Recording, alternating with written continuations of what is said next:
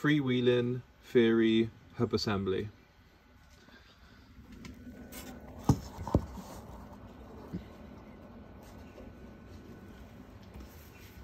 Um, right, so I was looking online and there's not many videos uh, out there showing the sort of components of um, these freewheeling Fairey hub assemblies. So um, I am no mechanic, I've got no mechanical uh, qualifications. All I'm doing is restoring my uh, Landy and uh, I thought that this would be useful for other people potentially uh, to see how these things go together. So if I say anything wrong or explain things wrong, I do apologize, okay? So here's your hub, okay, which obviously the freewheeling hub would be attached to. So gasket, first of all, would be placed between the two metals. So there you go. So this is your freewheeling hub, like so. Um, and you can see inside, obviously there's bearings in there, and it's spinning quite nice and freely to my uh, knowledge. So I've just cleaned it up basically, and you can see that spinning quite nicely. Ooh, if I hold it like that. The one thing I would say here is um, there you can see, um, if you count these spines, you've got 24 spines. You can get them with 12 spines as well. But this one, obviously the half shaft that this fits onto, okay the half shaft end would have 24 spines as well okay so this is why you see lots of those spines there um, another thing that I just want to mention at this point is you can see these larger grooves here in the outer spines now the outer those larger grooves there um, are for these little um, metal rods here I don't know what they're actually called but these metal rods you can see there's three of them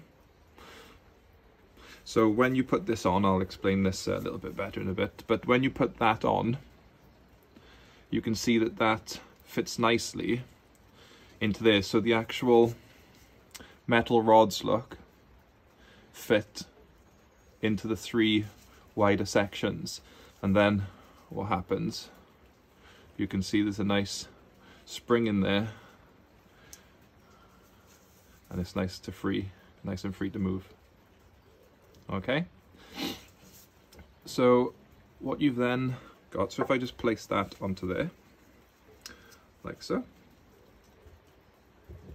just roughly for now, you've got your hubcap here, you've got your nylon thread, oh, Alexa's gone off, um, you've got this then, which is basically a little washer, I believe, that fits into there, and what happens against that lock this would be uh, another lock-in nut and this locks this assembly onto the half shaft and then you would have a pin.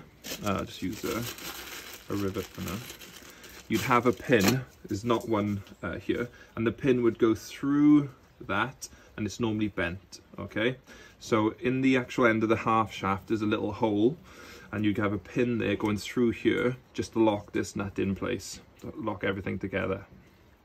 Okay, a little tip for when I've been doing it, to get the actual pins out, um, what I do is I actually put the rivet end next to the pin through the hole, just get a hammer and just gently tap it out and it does seem to, to come out quite nicely. So that's what that's for. Um, you've got your larger spring here that fits inside the actual cap. Um, but this part is made up of a plastic head.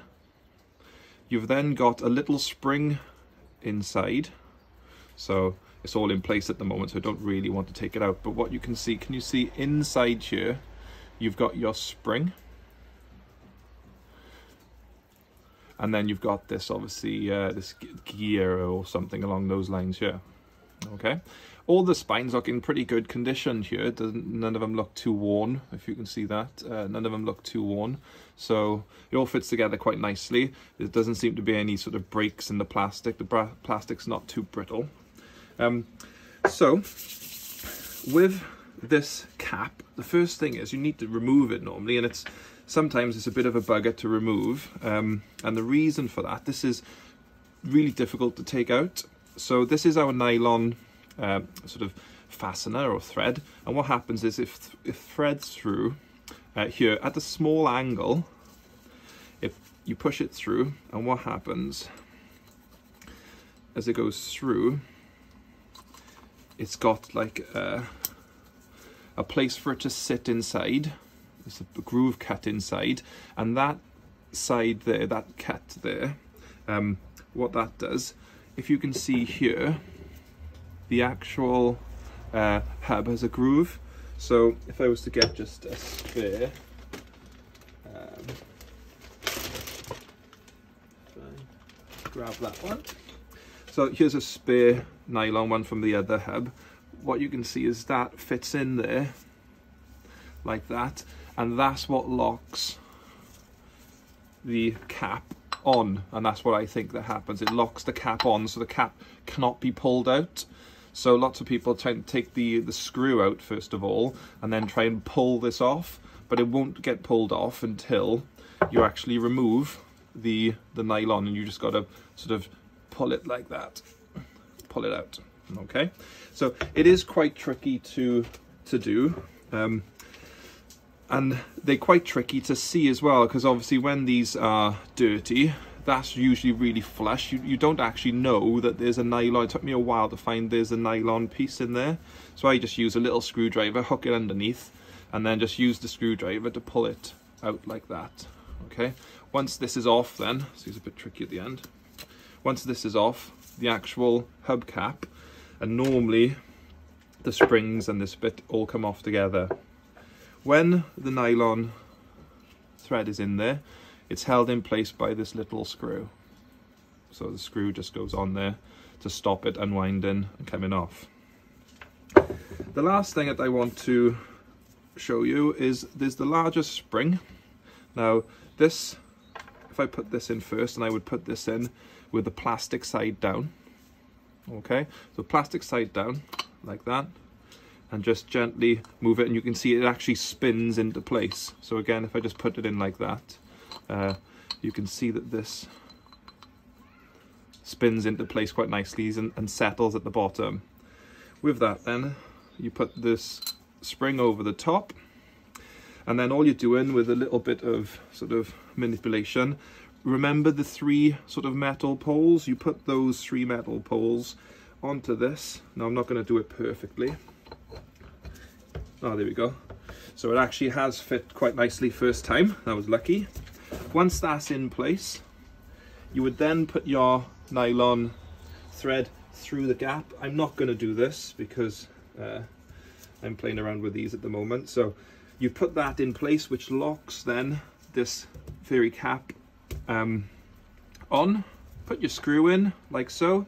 And then what you've got, once you've put your six bolts through here, which obviously you would do before the cap's on, so you can get the, uh, the spanner in there.